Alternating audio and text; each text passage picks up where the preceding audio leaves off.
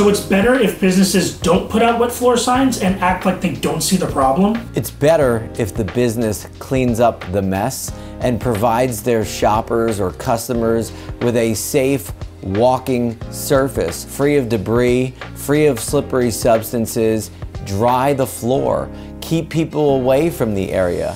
You and I both know that most often the business will mop with a greasy or wet mop, hence the wet floor sign, and then leave the area, thereby exposing shoppers and customers to harm. So I propose just do a good job. Get rid of the danger and move on so that you don't have to warn about anything.